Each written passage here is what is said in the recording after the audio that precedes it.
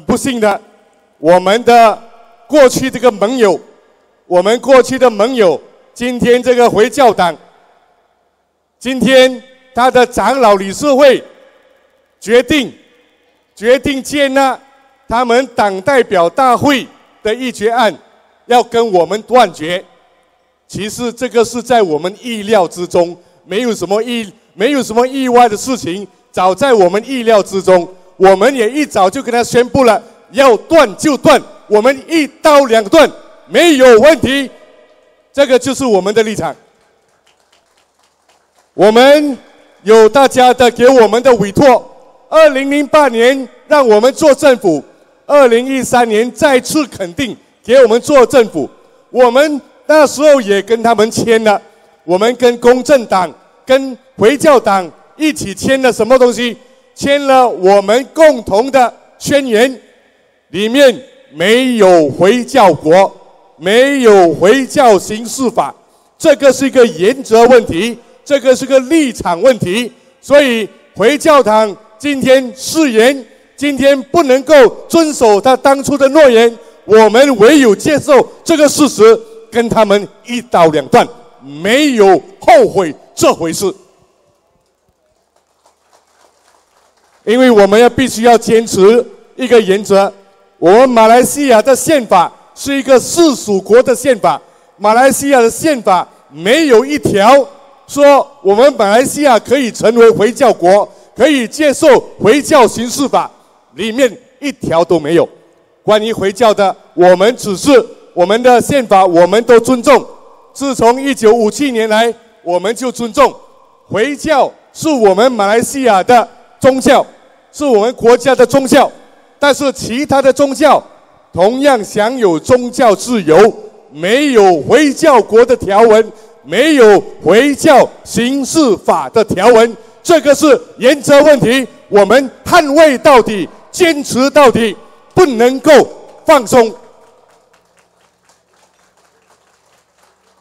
我们给回教党很多机会了，We have given enough. opportunity for past. No hudud, no Islamic law.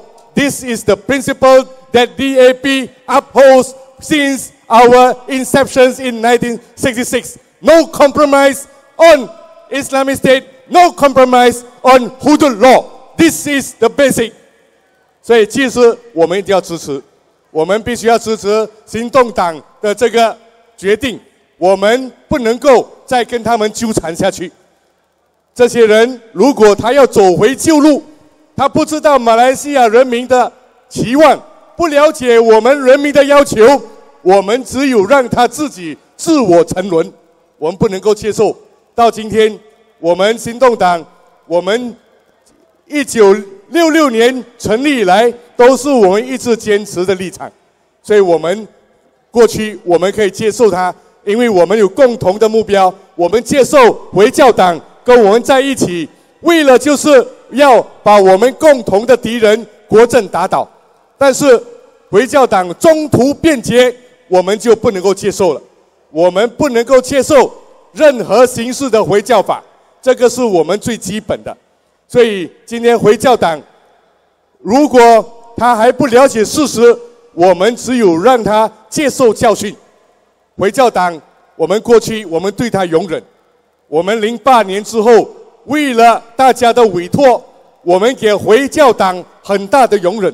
什么容忍？在二零零八年我们一起做政府的时候，回教党赢的州议席没有超过十席，只有八席。我们行动党我们有十三席，我们的公正党也有十五席，加起来我们三十六席。我们都超过十三系，只有回教党八系而已。但是我们在我们的行政议会里面，我们一样给他三个，我们三个行政议员，他三个，公正党四个。我们行动党的州议席在二零零八年，我们有十三系，他只有八系，我们都让他一样有三个行政议员。但是你知道吗？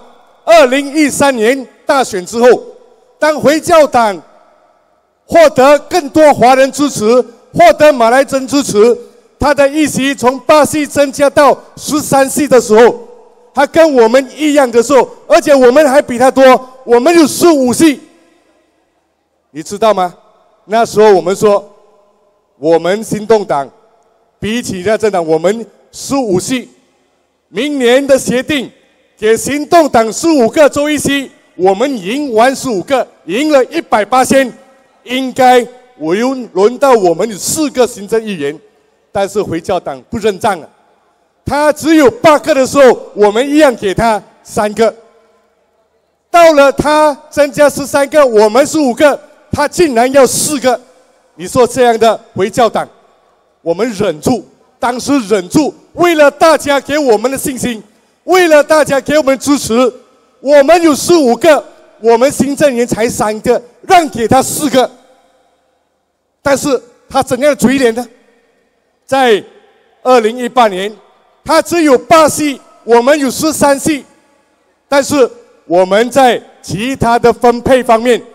都尽可能分配到三党每个三分之一，甚至在马来甘蹦，我们给他的马来村长的席位比公正党还要多。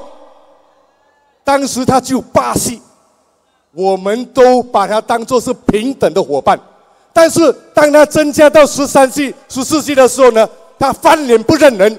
这口气我忍到今天才跟大家再不中奖。所以大家要给我们支持，要干掉回教党，忘恩负义。我从来没有骂回教党这样重的，在行动党里面，可能我是跟回教党最亲近的其中一个领袖，但是今天我要给下这个重话，太过分了，回教也太过分了，这是忘恩负义，我们不能容忍。所以今天我说出来，要让他们知道，当我们。在卡勒的事件，去年，但是卡勒给公正党开除，给公正党开除，卡列把行动党的行政议员，包括我开除掉，把公正党的行政员开除掉，他没有开除回教党，我们叫回教党辞职，他坚持不肯辞职。这个就是背弃忘义的做法，所以今天这笔账我们也要跟回教党拿回来，太过分了。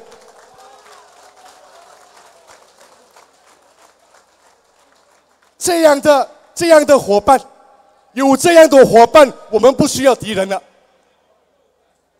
We we friend like us, we don't need enemies. Too much.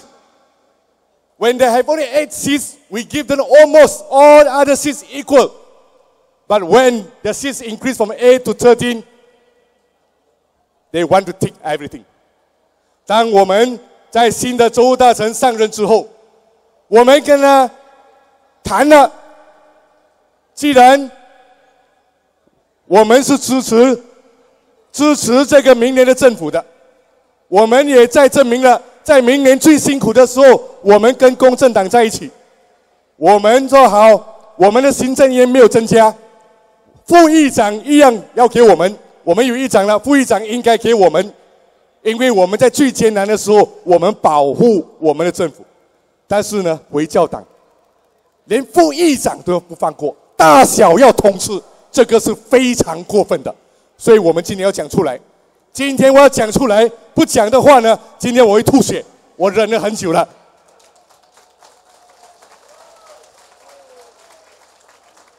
所以大家知道吗？跟回教党，如果今天今天对我们来说是一个解脱，他这样的方式对我们解脱。既然他不珍惜我们的支持，我们就不需要支持他了。零八年回教党，回教党从创党以来，在雪兰莪州。成绩从来都不好的，他最好的时候在一九九九年，剩四个，从此以后就没了，剩一个，他只剩四个，后来输一个。如果不是华裔选票、印裔选票给他支持，零八年他不可能有八克。如果不是有更多的华人支持他，更多的印度人支持他，更多的马来人支持他，他不可能可以赢到十三席。但是呢，赢了之后呢，他翻脸不认人，不认账。